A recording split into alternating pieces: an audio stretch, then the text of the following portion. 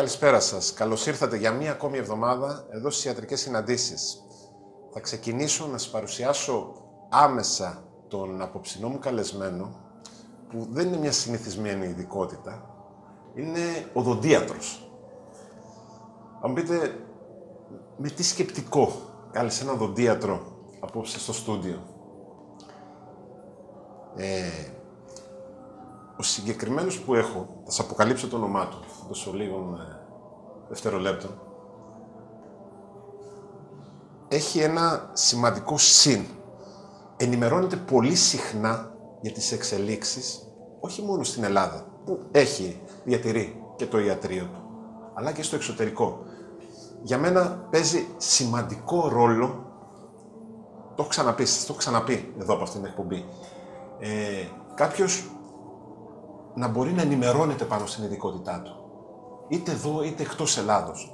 Λοιπόν, έναν τέτοιο λοιπόν άνθρωπο, έναν οδοντίατρο, τον Θανάση το Σχηνοχωρίτη, τον έχω απόψε εδώ στο στούντιο των ιατρικών συναντήσεων. Κύριε Σχηνοχωρίτη, να σας καλησπερίσω. Καλησπέρα και Να σα ευχαριστήσω έτσι που αποδεχτήκατε την πρόσκληση. Και εγώ σας ευχαριστώ.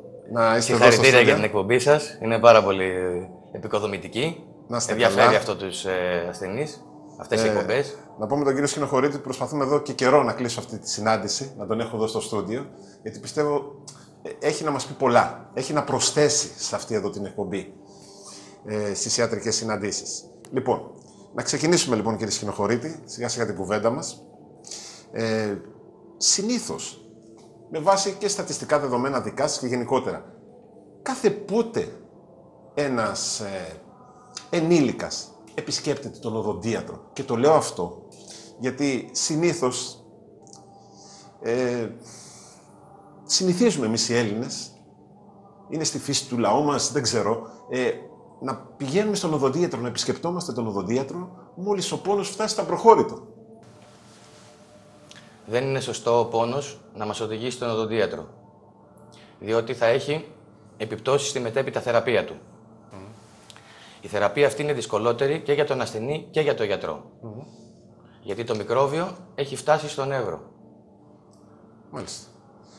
Ε, η εξέταση ε, ενός ενήλικα ασθενή που θα έρθει στο ιατρείο του Θανάση του Σκηνοχωρίτη, μιας και σας έχουμε, έχουμε εσάς μαζί μας απόψε, τι περιλαμβάνει; Η εξέταση του ασθενούς μας στο οδοντιατρίο περιλαμβάνει λήψη οδοντιατρικού και ιατρικού ιστορικού για να γνωρίζουμε παθήσεις και φάρμακα που λαμβάνει ο ασθενής. Το δεύτερο κομμάτι είναι ο κλινικός και ακτινογραφικός έλεγχος. Δηλαδή εξετάζουμε μικροβιακή πλάκα, τεριδόνα, ουλίτιδα. Δεν μένουμε όμως μόνο εκεί. Συνεχίζουμε. Εξετάζουμε γλώσσα, έδαφος της γλώσσας, παριές, ε, Συγγνώμη, αναφέρατε, κύριε Σκηνοχωρίτη, είναι σημαντικό να το αποσαφηνίσουμε αυτό, τη γλώσσα. Η γλώσσα γιατί εξετάζεται από τον οδοντίατρο. Γιατί πολλές ε, νεοπλασματικές ε, παθήσεις απαντούνται στη γλώσσα. Οπότε πρέπει να το διαγνώσουμε έγκυρα και να το παραπέμψουμε στον ειδικό στοματολόγο. Δηλαδή, Είναι να πολύ τα πράγματα σημαντική- με το όνομά τους, ακόμη και καρκίνο, έτσι. Βέβαια, βέβαια. Είναι πολύ σημαντικό γιατί η πρόληψη σε όλα τα κομμάτια της ιατρικής και της οδοντιατρικής είναι το πιο σημαντικό πράγμα. Η παραπομπή του γρήγορα έχει πολύ σημαντικό ρόλο για τη θεραπεία του. Παίζει πολύ σημαντικό ρόλο για τη θεραπεία του. Να ρωτήσω κάτι. Η δυσάρεστη αναπνοή, πολλές φορές, πού οφείλεται, οφείλεται στα χαλασμένα δόντια; Ένας σημαντικός παράγοντας που οφείλεται η δυσάρεστη αναπνοή, βέβαια είναι τα χαλασμένα δόντια. Ε, αυτό που δεν γνωρίζει ο πολύ ο κόσμος, γι' αυτό είπα ότι γι' αυτό πρέπει να τονίζουμε ότι καθαρίζουμε όλο το στόμα, όλη τη στοματική κοιλότητα, δεν μένουμε μόνο στα δόντια. Ένας σημαντικός λόγος είναι και η ράχη της γλώσσας. Αν παρατηρήσετε, στη γλώσσα δημιουργείται ένα επίχρησμα. Όταν πίνουμε καφέ, όταν πίνουμε κοκακόλα, αυτό το επίχρησμα με την οδοντόφρυτσα αφαιρείται. Ε, αυτό το, αυτός είναι ο λόγος κατά 80% που η- έχουμε μια έντονη στοματική ε, αναπνοή. Να ρωτήσω, μιας και αναφέρατε την οδοντόκρεμα. Πόσες φορές την ημέρα πρέπει να βουρτσίζουμε τα δόντια μας; Το λέω αυτό, κύριε Σχηνοχωρίτη, γιατί με αρκετούς και συναδέλφους σας που έχω μιλήσει, ε, θεωρούν ότι πάνω από μία με δύο φορές την ημέρα χαλάει η αδαμαντίνη των δοντιών. Και να συμπληρώσω το ερώτημα. Οδοντικό νήμα πρέπει να βάζουμε συνέχεια. Ε, στοματικό διάλειμμα πρέπει να χρησιμοποιούμε κάθε μέρα. Για διαφωτίστε μας λιγάκι. Βεβαίως. Είναι πολύ καλό να χρησιμοποιούμε οδοντικό νήμα, μεσοδόντια βουτσάκια και στοματικά διαλύματα. Διότι να, πρέπει να γνωρίζουν οι τηλεθεατές μας ότι όταν εμείς βουρτσίζουμε τα δόντια, η οδοντόβουρτσα φτάνει μέχρι ένα σημείο. Κάποιες επιφάνειες. Από τις πέντε επιφάνειες που έχουμε, οι τρεις καθαρίζονται. Οι υπόλοιπες δύο, οι όμορες, οι, οι γειτονικές, να σας το πω απλά, Ναι, ε, δεν καθαρίζονται. Εκεί πάει και μπαίνει το βουρτσάκι. Δηλαδή πάει και ξύνει ενδιάμεσα το, μεσο, το χώρο και καθαρίζει τα δόντια. Η καλή επαφή των, ε, των τριχών του, της βούρτσας μας κάνει πολύ καλή δουλειά. Πολύ καλά. Το...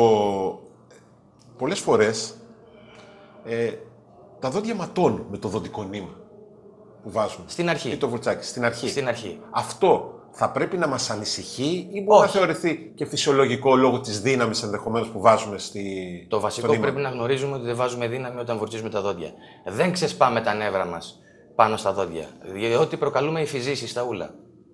Ο περισσότερος κόσμος νομίζει ότι βάζουμε δύναμη που καθαρίζουμε καλύτερα. Ναι. Είναι λάθος.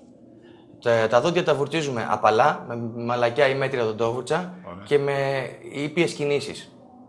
Σιγά σιγά αναδιαστήματα, κομμάτι-κομμάτι. Η μαλακή μέτρια οδοντόβουρτσα. Αυτό ποιος την καθορίζει, την καθορίζει ο Ο οδοντίατρος. δοντίατρος. Ο δοντίατρος. Ο δοντίατρος την Σε αυτό τι καθορίζει. παίζει ρόλο, η ευαισθησία στα ούλα πιθανότατα; Πολλοί παράγοντες είναι. Ε, όταν ο ασθενής έρχεται στο ιατρείο, Ναι. του δίνουμε κανόνες στοματικής υγιεινής. Γι' αυτό είναι το βασικότερο να έρχεται από μικρή ηλικία. Ναι. Δηλαδή, αν έρχεται από παιδί και τα εξηγούμε και τα ξαναεξηγούμε και τα εξηγούμε, γίνονται τα υιοθετεί. Ναι.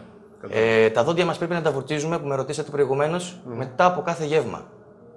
Αν δεν μπορούμε να τα βουρτίσουμε, καλό είναι να τα ξεπλύνουμε με λίγο νερό. Δηλαδή, με συγχωρείτε, επειδή οι γυναίκες ξέρετε, καμιά φορά σου λέει γευματίσουμε με μικρά γεύματα για τα κιλά και όλα αυτά. Η γευματής παίρνει πέντε γεύματα έξι την ημέρα. Α πούμε, παραδείγματος χάρη. Έξι φορές θα πρέπει να βουρτσίσει τα δόντια; Αν όχι έξι, καλό είναι να ξεπλύνετε με λίγο νεράκι μετά. Το στόμα, είστε κάπου έξω. Ναι. Δεν γίνεται να κουβαλάτε την οδοντόβουρτσα μαζί σας. Ε, μπορείτε να βάλετε λίγο νερό στο στόμα και να το ξεπλύνετε. Οδοντικό νήμα πρέπει να χρησιμοποιούμε μία φορά την ημέρα.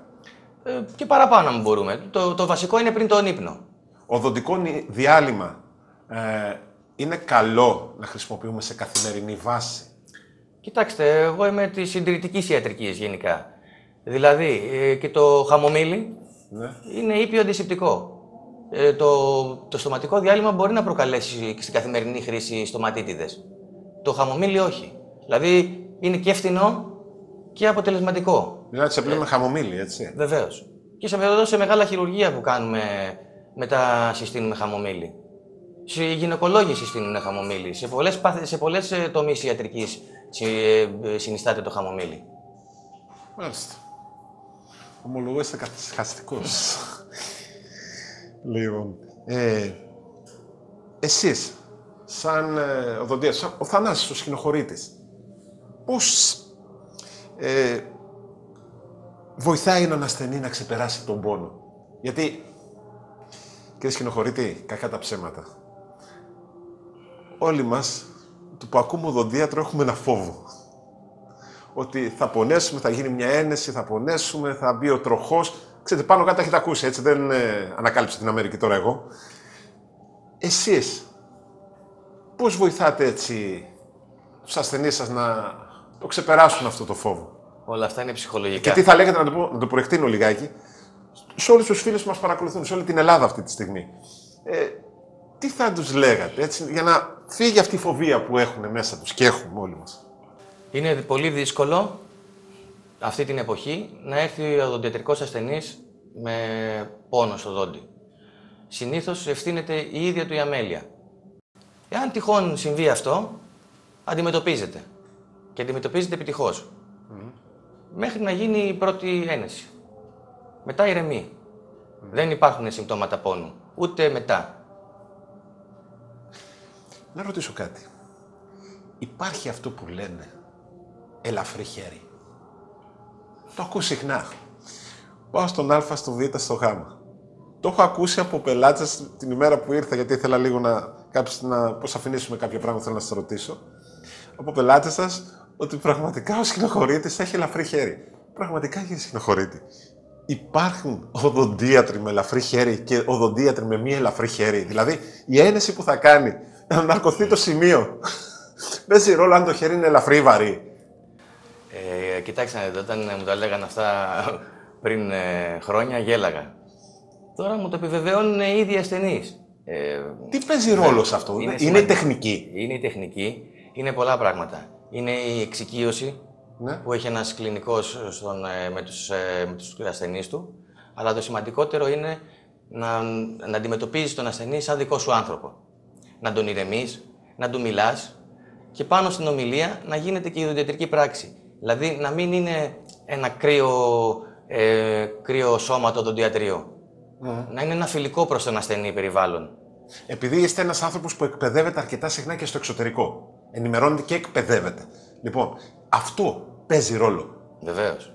Παίζει το ρόλο του. Δηλαδή, υπό την έννοια, είναι θέμα εκπαίδευσης πλέον. Είναι θέμα τριβής με την ένεση ενδεχομένως που γίνεται με μια διαφορετική τεχνική. Εξοικείωση, διαφορετική τεχνική, εκπαίδευση. Όλοι οι τομείς βοηθάνε στο να ηρεμούμε τον ασθενή. Το βασικότερο είναι να τον ηρεμήσει, γιατί έρχονται πανικόβλητοι. Έρχονται φοβισμένοι. Αν ηρεμήσει ο ασθενής, θα παρατηρήσει ότι όλα πηγαίνουν μόνα τους στο δοντιατρίο μας. Ωραία. Ε, μας ρωτάνε εδώ πόση ώρα πρέπει να βουρτσίζουν τα δόντια τους. Υπάρχει χρόνος συγκεκριμένος; Καλό είναι να μην ξεπετάμε τα δόντια μας, ούτε να βάζουμε μεγάλη δύναμη στο βούρτισμα. Ε, Δύο-τρία λεπτά με αργές κινήσεις, ήπιες κινήσεις, ε, καθαρίζουμε τα δόντια μας. Το βράδυ λίγο παραπάνω. Λίγο παραπάνω χρόνο αφιερώνουμε. Γιατί θα έχουμε και το στοματικό διάλειμμα, θα έχουμε και το νήμα, θα έχουμε και το μεσοδόντιο βουρτσάκι. Μπορεί αυτά να είναι όλα βαρετά και κουραστικά για τους ασθενείς, ναι. αλλά είναι πάρα πολύ σημαντικά. Ωραία. Ε, η κατανάλωση γλυκών τελικά κάνει κακό στα δόντια. Η κατανάλωση γλυκών και ζαχαρούχων τροφών ναι. στην διάσπασή τους μεταβολίζονται ναι. Και δημιουργούν ένα όξινο περιβάλλον στο σάλιο. Δηλαδή το δόντι μας είναι μέσα σε ένα όξινο περιβάλλον μονίμως. Αυτό αλλάζει το pH του στόματος. Τα μικρόβια πολλαπλασιάζονται. Είναι πολύ απλό να το Δηλαδή, να το πω λαϊκά, με ένα παράδειγμα, ενδεχομένω δεν είναι το κατάλληλο. ζάχαρη. Είναι σαν να έχουμε στύψει ένα λεμόνι και να το έχουμε συνέχεια πάνω στα δόντια. Ναι, ναι είναι τόσο όξινο. Τόσο όξινο. Μάλιστα. Κατανοητό. Ε, το ξεχάσω. Σημαντικό. Σας απαντήσετε. Πάρα πολλοί από εμάς με το που έρχεται ο πόνος στο δόντι, ξεκινάμε. Ούζα, ασπιρίνες, διάφορα άλλα ματζούνια. Τελικά, όλα αυτά σταματάνε πρόσχερα τον πόνο. Ή μπορεί να μας δημιουργήσουν, γιατί έχω ακούσει πολλές φορές ότι μπορεί να φτάσουμε μέχρι και σε έγκαυμα στο δόντι. Όχι έγκαυμα στο δόντι, ε, έγκαυμα συστοματική, χημικό έγκαυμα μπορεί να προκαλέσουν ναι. συστοματική κοιλότητα. Ναι. Στα μάγουλα, στο... Ε, δεν κάνει τίποτα. Δεν βοηθάει σε κάτι. Μπορεί να τον ανακουφίζει εκείνη τη στιγμή για 5 λεπτά, 10. Ναι. Μετά ο πόνος είναι χειρότερος. Δεν βοηθάει σε κάτι το στοματικό. Το, το, οι περισσότεροι μου έρχονται και μεθυσμένοι στο γιατρείο. δεν, είναι, δεν, δεν βοηθάει σε κάτι, δεν βοηθάει στη θεραπεία μας. Μόνο ζημιά μας κάνει. Καλό είναι όταν πονάνε ναι. να παίρνουν ένα ύπιο παυσίπονο ή να συνεννοούνται μαζί μου. Ένα τηλέφωνο δεν είναι κάτι το τρομερό. Και θα τους ε, φωνάζω στο γιατρείο Ξέρετε γιατί το λέω τώρα. Εντάξει. Ο καθένας με τον οδοντίατρό του, άμα του τύχει ο πόνος τώρα μία ώρα, δύο ώρα τη νύχτα, ξέρετε πολύ καλά ότι δεν είναι εύκολο να σηκώσει το ακουστικό και να πεις Γιατρέ, εδώ έχω θέμα. Ε, τι πρέπει να κάνει εκείνη τη στιγμή; Οπότε ε, ένα, ένα ήπιο παυσίπονο μόνο, έτσι. Ένα παυσίπιο είναι αρκετό. Ε, Δεν κάνει διάφορες αλχημίες δηλαδή. Όχι, δυσχεραίνει την κατάσταση Ωραία. και το έργο του γιατρού μετά. Θα αποκτήσουμε και άλλα προβλήματα εκεί που δεν είχαμε. Ε, λοιπόν, μας ρωτάνε σε ό,τι αφορά για την ε, εγκυμοσύνη εδώ, η οδοντιατρική θεραπεία στην εγκυμοσύνη επιτρέπεται; Η οδοντιατρική θεραπεία στη διάρκεια της εγκυμοσύνης δεν πρέπει να αποφεύγεται. Απλά πρέπει να είμαστε πάρα πολύ προσεκτικοί στο πρώτο τρίμηνο της εγκυμοσύνης, διότι εκεί το βρέφος σχηματίζεται. Οπότε, τι γίνεται κατά το δεύτερο τρίμηνο; Το δεύτερο πρέπει να τρίμηνο είναι θεραπεύεται ο καλύτερα. δοντικός πόνος εκεί; Το δεύτερο τρίμηνο είναι καλύτερα. Οι περισσότερες αποβολές γίνονται στο πρώτο τρίμηνο της εγκυμοσύνης. Αυτό το τρίμηνο είναι πάρα πολύ σημαντικό. Διαμορφώνεται το βρέφος, το έμβριο. Το έμβριο. Μμμ. Μάλιστα. Δόντια γιατί χάνουν στην εγκυμοσύνη οι γυναίκες; Υπάρχει πολύ βαθιά αντίληψη. Έχω αρκετά παραδείγματα, έτσι, που έχουν χάσει δόντια. Για ποιο λόγο συμβαίνει αυτό; Υπάρχει η αντίληψη ότι το βρέφος ε, τραβάει ασβέ, ε, απορροφά ασβέστη από την αδαμαντίνη. Ναι. Ε, ε, το βρέφος έχει και μεγαλύτερα οστά να τραβήξει, να απορροφήσει ασβέστιο. Αυτό μπορεί να το προλάβετε εσείς; Ε, Ή ο καθοδοντίατρος προλαμβάνετε. ο- ο λόγος Υπάρχει κάποιος τρόπος που να μπορέσει να το γλιτώσει, να γλιτώσει αυτή τη Ο ιστορία λόγος με το που, ασβέστη; ο λόγος που ε, οι γυναίκες χάνουν δόντια, οι εγκυμονούσες, Ναι. είναι από το pH του, σα- του στόματος λόγω των εμετών που κάνουν. Δηλαδή το pH στο στόμα γίνεται όξινο. Ναι. Πολλές φορές όταν πάνε να βουρτσίσουν τα δόντια τους, η η οδοντόβουρτσα τους φέρνει εμετό, οπότε ε, βάζουν στην άκρη τη στοματική υγιεινή. Ναι. Δεν, ε, δεν βουρτσίζουν τα δόντια τους. Ε, άμα έχει, η γυναίκα έχει καλή στοματική υγιεινή κατά τη διάρκεια της εγκυμοσύνης, ε, τα πράγματα πάνε ρολόι. Δεν χάνει δόντια. Δεν χάνει δόντια. Είναι μύθος αυτό. Αυτό κύριε, σκηνοχωρείτε, γιατί συμβαίνει; Ε, γιατί αποφεύγουν να βουρτσίσουν τα δόντια τους, από φόβο, μήπως δημιουργήσουν Πολλές πρόβλημα στο φορές έμβριο. Είναι επειδή τους προκαλεί τάση για εμετό. Ε, πάει ο οδοντόβουρτσα στην, ε, στην υπερόβα και τους δημιουργεί τάση για εμετό. Και μετά το αφήνουν, το παραμελούν. Ε, καλό είναι όμως μια γυναίκα που θέλει να μείνει έγκυος, πριν μείνει έγκυος, γιατί στην εγκυμοσύνη δεν μπορούμε να έχουμε εκτεταμένες ε, οδοντιατρικές θεραπείες. Καλό είναι να, προ- να, προ- να, να έχει μια πρόληψη να πάει στον οδοντίατρο νωρίτερα, αφού έχει σκοπό να τεκνοποιήσει. Μάλιστα. Ε, δεν ξέρω αν θέλετε να, πείτε, να προσθέσετε κάτι για τις εγκυμονούσες, σαν για τα δόντια τους, κάτι σημαντικό ενδεχομένως. Πολύ που εγώ καλή παρέλειψα. στοματική υγιεινή. Πολύ καλή στοματική υγιεινή. Ε, τι άλλο. Καθ' όλη τη διάρκεια της εγκυμοσύνης, έτσι και τους 9 μήνες. Βεβαίως. Έτσι. Και Μάλιστα. πριν, και πριν, όπως είπα και πριν, πριν μείνει έγκυος, ε, πολύ καλή στο, ε, να, πηγα- να, πάει τακτικά στο, να πηγαίνει τακτικά στον οδοντίατρο. Να προλαμβάνει, για να μην έχει προβλήματα. Η κληρονομικότητα παίζει ρόλο. Τι εννοώ εδώ; Αν μια μητέρα τα δόντια της δεν είναι σε καλή κατάσταση, δεν τα περποιείται, δεν τα έχει περποιηθεί κατά τη διάρκεια της ζωής της. Υπάρχει περίπτωση το έμβριο να κληρονομήσει κάποια αρνητικά στοιχεία τα δόντια του παιδιού στην πορεία της ζωής του. Ενδέχεται, αλλά το, το λογικό είναι ότι επειδή η μάνα δεν έχει καλή στοματική υγιεινή, δεν θα τη μεταδώσει και στο παιδί της. Δηλαδή δεν θα είναι καλή Συνήθως- δασκάλα στην, ε, στην καθαριότητα του στόματος. Αλλά κληρονομικά δεν μεταδίδεται. Άλλο σαν δεν, θέμα- δεν θέμα- είναι απόλυτο. Δεν είναι απόλυτο. Δεν είναι απόλυτο. Κύριε Συνοχωρίτη, οι γονείς πότε θα πρέπει να επισκέπτονται τον οδοντίατρο ε, ώστε το παιδάκι τους να, το, να κάνει το πρώτο check-up, την πρώτη διάγνωση την ιατρική, την οδοντιατρική. Σύμφωνα με την Αμερικάνικη Παιδοδοντιατρική Ακαδημία, το παιδί πρέπει να το φέρνουν οι γονείς σε πολύ μικρή ηλικία. Οπότε να εξοικειώνεται με τον οδοντίατρο. Ε, η- μια ηλικία που προτείνουμε είναι μεταξύ 6 μηνών και 1 χρονών. Αυ- αυτή είναι η ηλικία που καλό είναι να έρθει το παιδί στο ιατρείο. Θα μου πείτε, Το παιδί ακόμη δεν έχει βγάλει δόντια. Τι Ε, να, στον ένα χρόνο. δεν είναι, έχει βγάλει κάποια δόντια, Ναι. αλλά το θέμα δεν είναι αυτό, είναι να εξοικειωθεί με τον οδοντίατρο. Με το Είναι- χώρο, ε. Με το χώρο, με τον οδοντίατρο, ε, να, να ενημερωθούν οι γονείς για τη στοματική υγιεινή, τι πρέπει να κάνει, πώς πρέπει να καθαρίζει τα δόντια, όλα είναι πρόληψη. Όλα είναι πρόληψη. Άμα δεν το μάθεις από πολύ μικρή ηλικία, μετά θα είναι δύσκολο να, να, να τα υιοθετήσει όλα αυτά. Οπότε, φέρνοντας το παιδί μου σε εσάς, ε, στον οποιοδήποτε οδοντίατρο, έτσι, ε, τι περιλαμβάνει η πρώτη εξέταση, ας πούμε, τι θα του κάνετε; Η πρώτη εξέταση του παιδιού στην ουσία περιλαμβάνει την ενημέρωση των γονέων. Ε, λέμε στους γονείς πώς να καθαρίζει το στόμα του παιδιού. Ναι. Δηλαδή, καθαρίζουμε μια μικρή γάζα, βρέχουμε μια γάζα, καθαρίζουμε τη γλώσσα, τα μάγουλα, ε, την, όλη τη στοματική κοιλότητα. Ε, προσπαθούμε να μεταδώσουμε στους γονείς να χρησιμοποιούν πιστοποιημένο γάλα ε, για, να, για να βάλουν στον πιμπερό. Τι εννοείται, συγγνώμη, είναι σημαντικό. Τι εννοείται πιστοποιημένο γάλα; Από να έχει εταιρείες. εγκρίσεις. Ναι, από εταιρείες. Ναι, να Από έχει εγκρίσεις εταιρείες. από εταιρείες. Ε, είναι Δηλαδή να μην χρησιμοποιούν χύμα γάλα Βέβαια. που είναι αγνώστου ζαχαρούχο προελεύσεως. γάλα, ζαχαρούχο γάλα, ε, φρου, διάφορες γεύσεις μες στο γάλα, μέλια μες στο γάλα. Χρωστικά όλα αυτά ενδεχομένως ναι, ναι, και. ναι, ναι. Ε, πρέπει οπωσδήποτε το παιδί να, να πέφτει για ύπνο αφού έχει τελειώσει το γεύμα, να μην κοιμάται με τον πιμπερό, Ναι. γιατί αυτό δημιουργεί πάλι ένα όξινο περιβάλλον, διασπώνται και τα λοιπά. Ε, να μην χρησιμοποιεί πιπίλα με μέλια, ζάχαρες για να ηρεμούν. Στην ουσία δεν ηρεμούν, γίνονται χειρότερα τα παιδιά, δυσκολεύονται πολύ.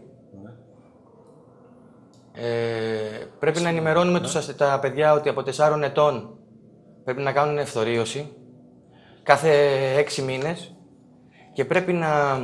Η φθορίωση τι είναι λίγο, θέλετε να μας διευκρινίσετε κύριε Σχοινοχωρήτη, για όσους πιθανόν δεν γνωρίζουν έτσι. Ε, γιατί πρέπει να γίνεται, τι είναι η φθορίωση, γιατί πρέπει να γίνεται στα παιδάκια; Η φθορίωση Και είναι... πού γίνεται αυτή, αυτή φαντάζομαι γίνεται στο οδοντιατρίο, έτσι. Βεβαίως. Δεν μπορεί κάποιος να Είναι φαρμακευτικό προϊόν, Ναι. το φθοριούχο νάτριο. ναι. Στην ουσία είναι η, αδα... είναι η ασπίδα της αδαμαντίνης. Από τους τεριδογόνους παράγοντες. Αυτό μέχρι ποια ηλικία πρέπει να γίνεται, ή δεν έχει όριο; Έχει. Ε, 12-13 χρονών. Από ε, 4, 5, 6 Μέχρι 12-13. μέχρι 12-13. Ε, Δηλαδή αυτό είναι η προστασία της αδαμαντίνης. Της αδαμαντίνης. Για την πορεία της ζωής του Η πλέον, ασπίδα του δοντιού. Η ασπίδα είναι η αδαμαντίνη, για να καταλάβετε. Από εκεί και πέρα γιατί δεν Τη γίνεται. γιατί δεν θωρακίζουμε. συνεχίζει- Τη θωρακίζουμε. Από εκεί και πέρα γιατί Γιατί συνεχίζει έχει να γίνεται. διαπλαστεί η αδαμαντίνη. Α, μάλιστα. Ωραία. Και περιλαμβάνει. Με ρωτήσατε και τι περιλαμβάνει. Ναι, ναι. Ε, περιλαμβάνει την επίσκεψη του μικρού ασθενή στο δοντιατρίο. Ωραία. Κάνουμε ένα πολύ καλό καθαρισμό στο στόμα του παιδιού. Ναι.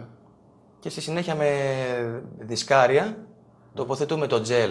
Έχει και γεύσεις τώρα, για, να μην, ε, για να είναι ευχαριστημένα τα παιδάκια. Τοποθετούμε 2-3 λεπτά στο στόμα του μικρού ασθενή.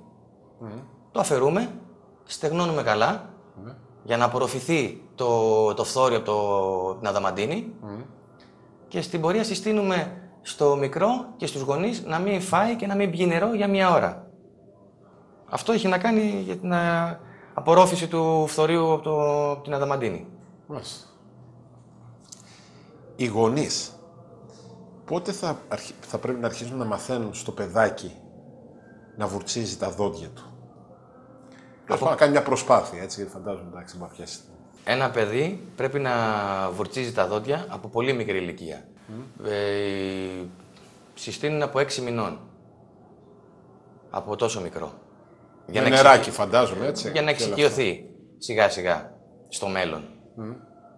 Χρήση οδοντόκρεμα, πότε πρέπει να κάνουν, να δώσουν στο παιδάκι, δηλαδή στην.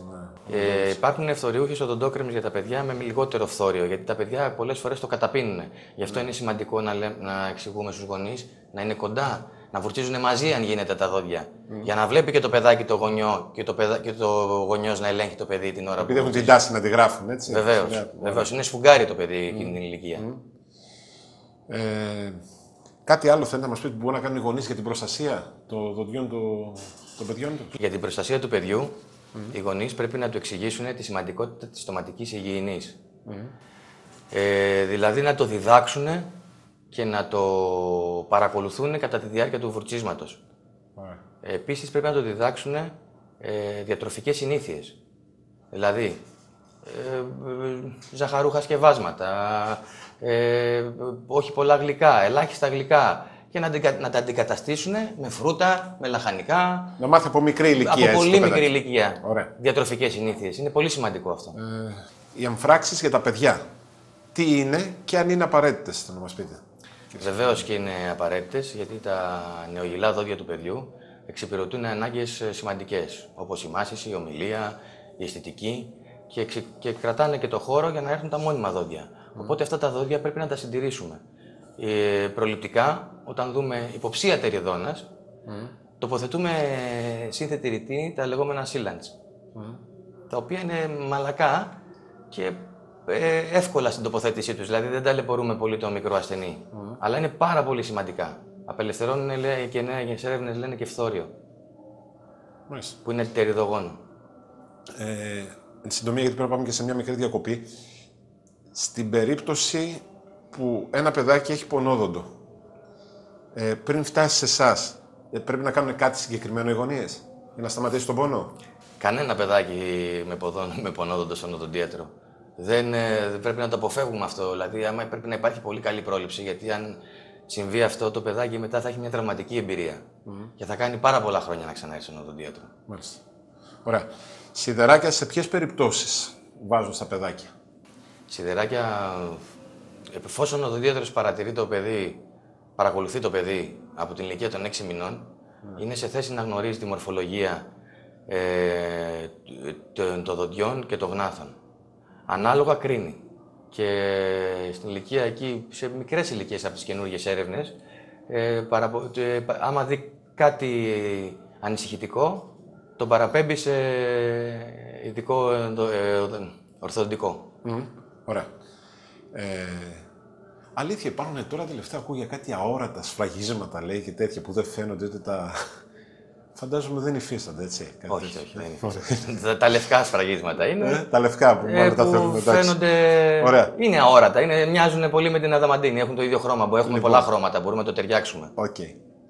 Σε αυτό το σημείο, φίλες και φίλοι, θα πάμε σε μια μικρή διακοπή. Μείνετε μαζί μας, γιατί έχω να ρωτήσω πολλά και ιδιαίτερα σοβαρά θέματα τον κύριο Σχηνοχωρίτη για τα δόντια μας. Ενδεικτικά θα σας αναφέρω. Ε, ποια η διαφορά, θα ρωτήσω τον κύριο, τον κύριο Σχηνοχωρίτη, υπάρχει ανάμεσα στα λευκά και στα μαύρα σφραγίσματα; Ε, αληθεύει ότι τα μαύρα σφραγίσματα που έχουμε θεωρώ περισσότεροι στα δόντια μας κατά διαστήματα μπορούν να βάλουν σε κίνδυνο την ίδια μας τη ζωή; Θα προσπαθήσω να εμβαθύνουμε στο κομμάτι με τα εμφυτεύματα. Έχω αρκετές ερωτήσεις να του κάνω για τα εμφυτεύματα θα κουβεντιάσουμε και για τη λεύκανση. Να δούμε, αυτή η περιβόητη λεύκανση που ακούμε συνήθως. Τι είναι, για ποιο λόγο γίνεται; Και για το τέλος έχω μία ερώτηση που θεωρώ είναι όλα τα λεφτά της απόψινής βραδιάς. Συνήθως γνωρίζετε ότι ματώνουν τα δόντια μας και λέμε ουλίτιδα. Μήπως δεν είναι απλώς ουλίτιδα το μάτωμα των, ούλιο, των ούλων, αλλά πίσω εμπεριέχει και κάποια ασθένεια ή ασθένειες; Σε ελάχιστα λεπτά, ο κύριος Χινοχωρήτης και πάλι στην παρέα μας.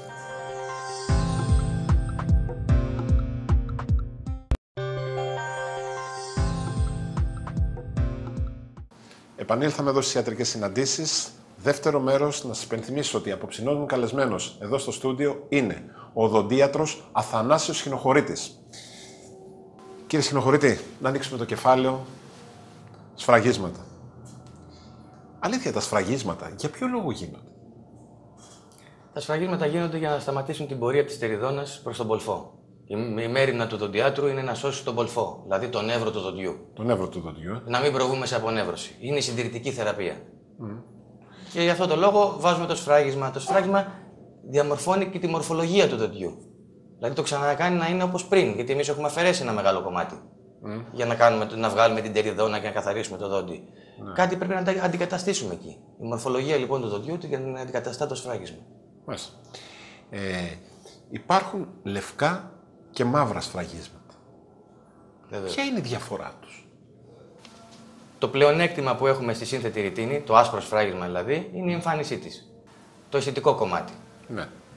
Ε, το μεγάλο πλεονέκτημα στο μαύρο σφράγισμα είναι ότι είναι περισσότερο βιοσυμβατό. Το δέχεται καλύτερα ο οργανισμός. Εγώ προσωπικά σε βαθιές κοιλότητες, κοντά στον νεύρο, για να κάνω συντηρητική θεραπεία και να σώσω το δόντι του ασθενούς, χωρίς να προβώ σε απονεύρωση, τοποθετώ σε πίσω δόντια μαύρο σφράγισμα. Ένα λεπτό. Θα έχετε ακούσει, φαντάζομαι, έτσι, όπως και πολλοί από τους φίλους που μας παρακολουθούν αυτή τη στιγμή, ότι τα μαύρα σφραγίσματα, λόγω του υδραργύρου που περιέχουν, είναι επικίνδυνα, μπορούν να γίνουν επικίνδυνα για τον οργανισμό μας. Αληθεύει, έχει δώσει αλήθεια. Υπάρχει αυτή η αντίληψη. Σύμφωνα με τις ε, νέες έρευνες που γίνονται, ε, οι εταιρείες μειώνουν το κράμα του υδραργύρου στο, στο, στο μαύρο σφράγισμα. Οπότε είναι απόλυτα ασφαλές ένα οδοντιατρικό όπλο στα χέρια του οδοντιάτρου. Οπότε όσοι έχουν μαύρα σφραγίσματα αυτή τη στιγμή, να μην τρέξουν να τα βγάλουν Όχι αν, και να δεν υπάρχει, αντικαταστήσουν. όχι αν δεν υπάρχει κάποιο πρόβλημα. Δηλαδή, άμα δεν υπάρχει δευτερογενή στεριδόνα, ε, τι είναι η δευτερογενή στεριδόνα; Μεταξύ του δοντιού και του σφραγίσματος Ναι. δημιουργείται ένας χώρος που το, εμείς το λέμε περιφραγματικός χώρος. Είναι μια οπή, για να το καταλάβουν τι λέτε. Ωραία. Μια σχισμή. Εκεί πάει και μπαίνει η δευτερογενή τεριδόνα. Δηλαδή μπαίνει μεταξύ δοντιού και υλικού. Και δουλεύει από κάτω, στην οδοντίνη. Αληθ- Μόνο ναι. τότε αλλάζουμε ένα σφράγισμα. Όχι, δεν θα το αλλάξουμε επειδή είναι μαύρο. Αυτό είναι το αισθητικό κομμάτι που μας ενοχλεί. Αληθεύει ότι έχουν καταργηθεί τα μαύρα σφραγίσματα. Όχι. Δεν υφίσταται κάτι τέτοιο. Όχι. Δεν υφίσταται κάτι τέτοιο. Ωραία. Ε, ένα σφράγισμα πόσο καιρό διαρκεί; Ένα σφράγισμα εξαρτάται. Μπορεί να διαρκέσει από 2 μήνες μέχρι 20 χρόνια. Ο μέσος όρος ενός καλού σφραγίσματος, ενός τέτοιου, είναι 10 χρόνια. 10 χρόνια μπορεί. ε. Και εξαρτάται βέβαια και από τις διατροφικές συνήθειες του ασθενούς. Ε, οπότε, κανονικά όμως, σε πόσο χρονικό διάστημα πρέπει να αλλάζουν τα σφραγίσματα; Μπο- Εκεί γίνεται κάποια συντήρηση ή όχι των σφραγισμάτων; Ε, τα σφραγίσματα αλλάζουν μόνο αν υπάρχει κάποιος λόγος. Κάποιος λόγος. Δηλαδή κάποιο μικρόβιο, κάποια τεριδόνα, όπως είπα πριν, δευτερογενής, ε, κάποιο σπάσιμο ενδεχομένως. Ε, είναι πολλοί λόγοι που αλλάζει, αλλάζει ένα σφράγισμα. Συνήθως είναι η, η δευτερογενή τεριδόνα. Ε, τώρα τελευταία, κύριε Σκηνοχωρίτη, έχω παρατηρήσει ότι πολλά νέα άτομα χάνουν τα δόντια τους. Αυτό γιατί συμβαίνει; Συμβαίνει λόγω του στρες, λόγω του άγχους που είναι θέμα ανεργίας, όλα αυτά που αν μη τι άλλο μας ακολουθούν αυτή την εποχή. Ναι, λύπη μου παρατηρώ ότι νέα άτομα χάνουν τα δόντια. Ε, είναι θέμα μορφωτικό, κοινωνικό και οικονομικό. Δηλαδή σε προηγμένες χώρες είναι θέμα παιδείας. Σε προηγμένες χώρες, όπως η Σουηδία, δεν θα δείτε άνθρωπο που να του λείπει δόντι. Άμα πάτε στο Βιετνάμ, στην Καμπότζη, θα δείτε τους περισσότερους ανθρώπους χωρίς δόντια. Είναι θέμα παιδείας. Σίγουρα είναι και το οικονομικό, γιατί τα τελευταία χρόνια η χώρα μας μαστίζεται από μια οικονομική κρίση και απλά πρέπει να γνωρίζει ότι ο ασθενής ότι άντε και βγάζει το δόντι. Μετά πρέπει κάτι να βάλει. Μπαίνει σε ένα κικαιώνα. Τα, το, το από κάτω δόντι θα, θα, ανε- θα ανέβει. Το διπλανό θα πάρει το χώρο του. Δηλαδή δεν είναι ότι βγάζουμε ένα δόντι και τελειώσαμε. Τι θα αντικαταστήσεις, που τι θα βάλεις; σε περιπτώσεις απώλειας δοντιών, ε, εσείς ποια θεραπευτική μέθοδο ακολουθείτε; Υπάρχουν πολλοί μέθοδοι που ακολουθούνται. Η κλασική μέθοδος είναι οι γέφυρες, Ναι. οι στεφάνες, οι μεταλλοπορσελάνες ή ολοκεραμικά, τα οποία τροχίζουμε δύο διπλανά δόντια Ναι. και καλύπτουμε το κενό μέσω της γέφυρας του μεσαίου. Ε, προτιμούμε αυτά τα δόντια να είναι χαλασμένα, γιατί αν δεν, δεν θέλουμε να, να τροχίσουμε υγιή δόντια. Η δεύτερη μέθοδος είναι όταν έχουμε υγιή δόντια, Ναι. τοποθετούμε ένα εμφύτευμα, που είναι, Τι η είναι σύγχρονη μέθοδος. Και το Μπαίνει τρίτο, μέσα με βίδα, τι- πώς μπαίνει αυτό το εμφύτευμα; το εμφύτευμα ε, στην ουσία είναι βίδα τιτανίου. Ναι. Την ε, τοποθετούμε στο οστό με μια μικρή χειρουργική επέμβαση. ναι. Ε, περιμένουμε δύο, ε, μια εβδομάδα να αφαιρέσουμε τα ράματα και σε δεύτερο σκοπό έρχεται ο ασθενής στο ιατρείο μας. Ε, πάνω σε αυτή τη βίδα που έχουμε τοποθετήσει τοποθετούμε έναν άξονα και πάνω σε αυτόν τον άξονα μπαίνει η στεφάνη η λεγόμενη θήκη που λέμε τώρα. ναι. Και μπορεί να μπει και δύο εμφυτεύματα ανάλογα τα δόντια που λείπουν. Και να τοποθετήσουμε και γέφυρα. Μάλιστα. Αυτή η βίδα τιτανίου μπαίνει μέσα για να πιάσει, φαντάζομαι, έτσι, το Οι δόντι. δύο-τρεις μήνες που είπα πριν, Ναι. που περιμένουμε, υπάρχει λόγος γι' αυτό. Για να γίνει η λεγόμενη οστοενσωμάτωση. Δηλαδή η βίδα με το οστό να γίνει ένα σώμα. Μάλιστα. Όταν είναι έτοιμο, ανάλογα με τον άνθρωπο, την ηλικία, την, ε, το, το φύλλο, ε, τον καλούμε στο ιατρείο μας και αρχίζουμε το δεύτερο στάδιο, το προσθετικό που λέμε εμείς. Μμ. Επειδή πολλοί τώρα ακούνε για το εμφύτευμα, το οποίο περιλαμβάνει και τη βίδα που τοποθετείται μέσα, έτσι. Και ξέρετε, δεν θέλουμε πολύ να αρχίσουμε να πιστεύουμε ότι μία βίδα στον οργανισμό μας, έστω στο στόμα, μέσα στο ούλο, μπορεί να δημιουργήσει ε, ενδεχομένως αλυσιδωτά προβλήματα. Τίποτα, κανένα δεν πρόβλημα. δημιουργεί κανένα θέμα, Κανένα έτσι. θέμα. Κατά 99, Να το αποσαφηνίσουμε στον κόσμο για να ασφαλές, ε, είναι ασφαλές. Απόλυτα. Ωραία, ωραία. Απόλυτα. Ε. Το, ο ασθενής το αισθάνεται σαν δικό του δόντι. Ε, αποδίδεται το ίδιο με το φυσικό δόντι, το Βεβαίως, εμφύτευμα. Δεν βεβαίως. έχει καμία και σε διαφορά. χρώμα έτσι. και, σε, και στην αίσθηση της μάσησης ε, και σε όλους τους τομείς είναι ακριβώς το ίδιο με το φυσικό δόντι. Ε, Τουλάχιστον έτσι μας λένε οι ασθενείς μας. Α. Αυτά τα εμφυτεύματα διαρκούν, έχουν διάρκεια ε, φόρου ζωής ή θα πρέπει σε κά- κάποιο χρονικό διάστημα να αλλάξουν; Τίποτα δεν είναι για πάντα.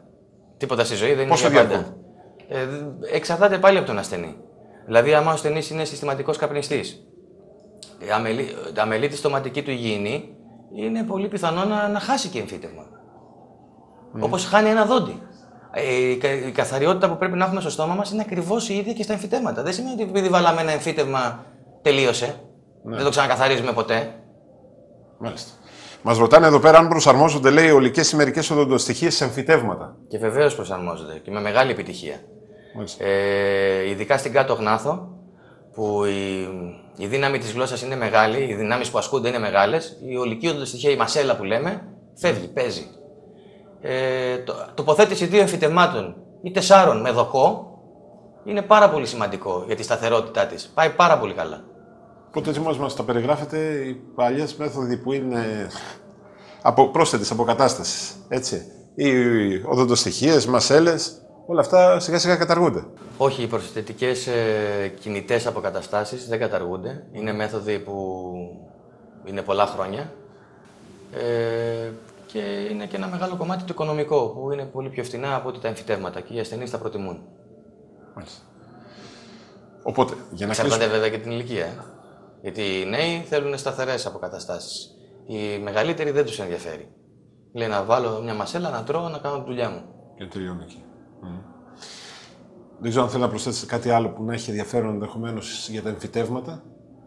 στον κόσμο. Τα εμφυτεύματα που μπορούν να προσαρμοστούν ε, σε, όλους, σε όλες τις ηλικίες, από μικρό παιδί μέχρι μεγάλον άνθρωπο. Ε, είναι πολύ σημαντικό να γνωρίζουν οι ασθενείς, να μην τρομάζουν, είναι ανώδυνη η διαδικασία. Ναι. Ασθενείς μου που βγάλαμε 7 δόντια και βάλαμε 8 εμφυτεύματα την άλλη μέρα με πήρε τηλέφωνο και μου είπε «Γιατρέ, είναι φυσιολογικό που δεν πονάω». Εμένα με χαροποίησε αυτό. Αλλά αυτό ο περισσότερος κόσμος δεν το γνωρίζει. Είναι ανώδυνη η διαδικασία. Ε, ναι, γιατί εντάξει, όταν ακούς βίδα, δόντι που θα μπεις στο δίσο, όχι, όχι. τρομάζεις. Καμία, καμία σχέση. Καμία Είναι σχέση. ανώδυνη Είναι διαδικασία. ανώδυνη η διαδικασία. Λοιπόν, πάμε να ανοίξουμε τώρα το κεφάλαιο λεύκανση. Αυτή η περιβόητη λεύκανση, κύριε Σκηνοχωρίτη, θέλω να μας πείτε, προσφέρει κάτι στα δόντια; Η χημική ουσία της λεύκανσης είναι η, το υπεροξίδιο του υδρογόνου, το οξυζενέ που λέμε, και το υπεροξίδιο του καρβαμιδίου. Η λεύκανση τι κάνει; Η λεύκανση δίνει ένα, ένα χρώμα φωτεινότερο ε, στο δόντι. Αυτό μπορεί να φτάσει και 8 φορές παραπάνω. Μέχρι εκεί μπορούμε να δώσουμε. Πρέπει να γνωρίζει όμως ο κόσμος ότι η λεύκανση γίνεται μόνο στα φυσικά δόντια. Όχι στις εμφράξεις ή στις ε, θήκες. Δηλαδή αν έχουμε κάποια θήκη, κάποια έμφραξη ρητίνης μπροστά, πρέπει να την αφαιρέσουμε, να κάνουμε τη λεύκανση και μετά να επανατοποθετήσουμε καινούρια σύνθετη ρητίνη για να πάμε να ταιριάξουμε το χρώμα. Δεν είναι τόσο απλό. Οπότε έχει μια ιστορία το ζήτημα. Εάν Είναι- δεν έχουμε, αν έχουμε φυσικά δόντια. Αν δεν έχουμε φυσικά δόντια, αν έχουμε πολλά σφραγίσματα. Αν έχουμε φυσικά δόντια δικά μας, δεν έχουμε κανένα πρόβλημα. Είναι πάρα πολύ απλό. Μάλιστα. Αλήθεια. Κύριε Σκηνοχωρίτη.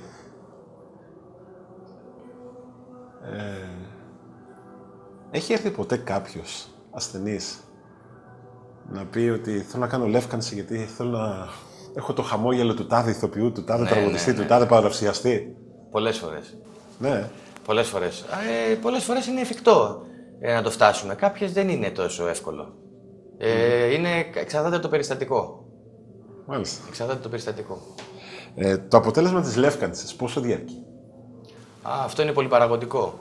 Δηλαδή, αν ο ασθενής καπνίζει, τι, τι καταναλώνει; Αν πίνει κόκκινο κρασί, αν ε, τρώει ε, χρωμογόνες τροφές, όπως πατζάρια, αν πίνει τσάι, ε, κοκακόλες, ό,τι έχει χρωστική, μένει στα δόντια, το απορροφά η αδαμαντίνη. Μάλιστα.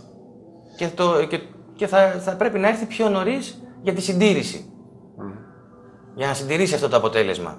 Βέβαια τα δόντια δεν θα γίνουν όπως ήταν πριν, σε καμία περίπτωση. Απλά θα χρ- χρειαστούμε πιο γρήγορη συντήρηση. Μάλιστα. Πριν, αν θυμάμαι καλά, έκανα χρόνο, ενάμιση, είχα μια πολύ καλή φίλη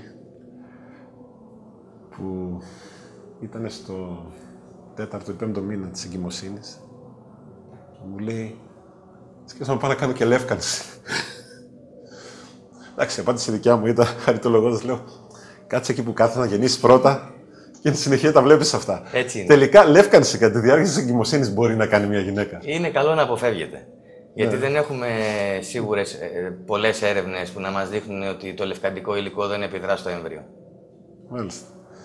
Λοιπόν, ε, από ποια ηλικία μπορεί κάποιος να κάνει λεύκανση. Από 18 χρονών και πάνω. Ωραία. Λοιπόν, ε, οι κρέμες αυτές που κυκλοφορούν στο εμπόριο και λένε λευκαίνουν τα δόντια, κάνουν αστραφτερό το χαμόγελο και όλα αυτά, εντάξει, τα τρίκα ενδεχομένως. Ε, μπορούν, είναι επικίνδυνες για την υγεία μας ή βοηθούν πραγματικά κύριε Σχηνοχωρήτη. Όχι βέβαια, δεν, είναι, δεν βοηθούν σε τίποτα. Ε, ίσα ίσα που κάνουν και μεγάλη ζημιά. Εκεί είναι οι πόνοι που λέγαμε. Όσοι διαμαρτύρονται για τέτοια πράγματα δεν έχουν κάνει λεύκανση σε οδοντίατρο. Η λεύκανση σε οδοντίατρο δεν έχει πόνο. Και αν ε, πονέσει, τοποθετεί ο οδοντίατρος το φθορίουχο νάτριο ή το νητρικό κάλιο, το οποίο απευαισθητοποιεί την, ε, την αδαμαντίνη και φεύγει ο πόνος. Δηλαδή, Είναι, είναι επικίνδυνα σκευάσματα αυτά του, που βρίσκουμε έξω στα κέντρα αισθητικής που έχω ακούσει κι εγώ. Είναι επικίνδυνα. Η, η, η λεύκανση πρέπει να γίνεται αποκλειστικά και μόνο από τον οδοντίατρο. πια εδώ προσφάτως είδα οδοντόκρεμα λεύκανσης, λέει, των δοντιών. Υπάρχουν ε, οδοντόκρεμες που έχουν λευκαντικούς παράγοντες. Ναι. Απλά πρέπει να προμηθεύονται από φαρμακεία. Όχι από το δρόμο. Δεν ξέρουμε τι, τι βάζουν ε, μέσα. Πιστοποιημένες κρε, ε, πιστοποιημένες, ε, Οδοντόκρεμες, έτσι. οδοντόκρεμες. Αυτές τι κάνουν, δηλαδή, ασπρίζουν, κάνει τη δουλειά σχεδόν, φτάνει στο επίπεδο το δόντι, το, η λεύκανση του δοντιού, που θα- μπορεί να φτάσει ο οδοντίατρος. Ή ο οδοντίατρος χρησιμοποιεί άλλες τεχνικές που εκεί σαφέστατα γίνεται. Σίγουρα. Υπάρχουν δύο μέθοδοι. Υπάρχει η μέθοδος που γίνεται η λεύκανση στο γιατρείο, Ναι, επί την επίβλεψη του οδοντιάτρου. ναι. Και αυτό διαρκεί, εξαρτάται τώρα πόσο θέλουμε να, λευ- πόσο, πόσο θέλουμε να τα λευκάνουμε τα δόντια. Ε, και υπάρχει και η δεύτερη μέθοδος, ε, που είναι συντήρηση, σαν συντήρηση και λεύκανση στο σπίτι. Ε, και, οι δύο λευ- και οι δύο μέθοδοι μαζί έχουν πολύ καλά αποτελέσματα. Μμμ. Μάλιστα. Δηλαδή ιατρείο και σπίτι μαζί. Ωραία. Και αργότερα η συντήρηση βέβαια. Η συντήρηση γίνεται και στο σπίτι πάλι και στο γιατρείο. Γιατί κάνουμε Α, λεύκανση. αυτό που λέτε είναι σημαντικό. Η συντήρηση κάθε πότε πρέπει να γίνεται; Ε, Αυτό που σας είπα προηγουμένως εξαρτάται από τις συνήθειες του ασθενούς. Δηλαδή, άμα καπνίζει, άμα πίνει κόκκινο κρασί, άμα πίνει κοκακόλες, άμα. Όχι, κάποιος που τηρεί τα δεδομένα. Δεν καπνίζει, δεν πίνει έτσι διάφορα αναψυκτικά που δεν βοηθάνε. Όλα αυτά. Συνήθω. Άμα είναι όλα αυτά και προσέχει, Ναι. γύρω στα τρία χρόνια. Γύρω στα τρία χρόνια Ναι. να διατηρηθεί. Ωραία. Λοιπόν, κύριε Σκηνοχωρήτη, θέλω να σας κάνω ένα ερώτημα που θεωρώ αρκετά σημαντική ενδεχομένως στην απάντηση που θα μας δώσετε. Όταν τα ούλα ματώνουν, σημαίνει ότι υπάρχει από πίσω μόνο ουλίτιδα ή μπορεί ε, να υπάρχει και κάποια άλλη ασθένεια ή ασθένειες. Τι γίνεται; Και θέλω την άποψή σας. Στην περίπτωση που ματώνουν τα ούλα, δεν είναι μόνο ουλίτιδα. Είναι πάρα πολλοί λόγοι. Ένας από τους πιο σημαντικούς είναι ο ζαχαρόδης διαβήτης. Ε, Έρευνες που έχουν γίνει εδώ και πολλά χρόνια ε, ενώνουν το ζαχαρόδι διαβήτη με την, περιοντο- με την περιοντίτιδα. Η τελε- η- σχεδόν το 50% των ασθενών που υποφέρουν από ζαχαρόδι διαβήτη έχουν περιοδοντοπάθεια, σύμφωνα με τις έρευνες των Αμερικάνων. Τα τελευταία χρόνια όμως μάθαμε κάτι καινούριο. Ότι και η περιοδοντοπάθεια συσχετίζεται με το ζαχαρόδι διαβήτη. Δηλαδή, ασθενή που δεν προσέχει την, τη, τα ούλα του, την ουλίτιδά του, τη, τη στοματική του υγιεινή, ε, έχει αυξημένες τιμές ζαχάρου στο αίμα. Οπότε όλα αυτά συσχετίζονται, είναι αμφίδρομη η σχέση τους. Οπότε είναι σημαντικό το κομμάτι της ουλίτιδα. Το αιματώνει το τα ούλα, το αιματώνει τα ούλα. Και το ένα επηρεάζει το άλλο. Δηλαδή, ο διαβήτης επηρεάζει την περιοδοτήτηδα, η περιοδοτήτηδα επηρεάζει το διαβήτη. Δηλαδή, ένας ασθενής που είναι θεραπευμένος περιοδικά σωστά, ε, μειώνει τις ενέσεις ινσουλίνης που κάνει. Ένας ασθενής που προσέχει τις τιμές του ζαχάρου, μειώνει την περιοδοτήτηδα στο στόμα. Είναι αλληλένδετα. Κύριε Σκηνοχωρητή, επειδή έχω καλέσει εδώ πέρα πολύ μεγάλα ονόματα του ιατρικού χώρου. Μου έχουν κάνει την τιμή να έρθουν εδώ σε αυτό το στούντιο να μου δώσουν μια συνέντευξη. Θεωρείτε, οι περισσότεροι μου έχουν πει ότι θέλουν κάποιο ιστορικό. Χρειάζεται να πηγαίνουν στο γιατρό τους με κάποιο ιστορικό. Βεβαίως. Θεωρείτε ότι αυτό είναι απαραίτητο όλοι εμείς να πηγαίνουμε και στον οδοντίατρό μας με ένα ιστορικό. Βεβαίως. Να έχεις στα χέρια του. Βεβαίως. Γιατί ε, μέχρι πρώτο... τώρα αυτό που γνωρίζω εγώ τουλάχιστον, έτσι, εκτός και είναι κάποια άλλα δεδομένα που εγώ δεν τα έχω το λάβει. Το α και το μέγα είναι η πρόληψη και ιστορικό.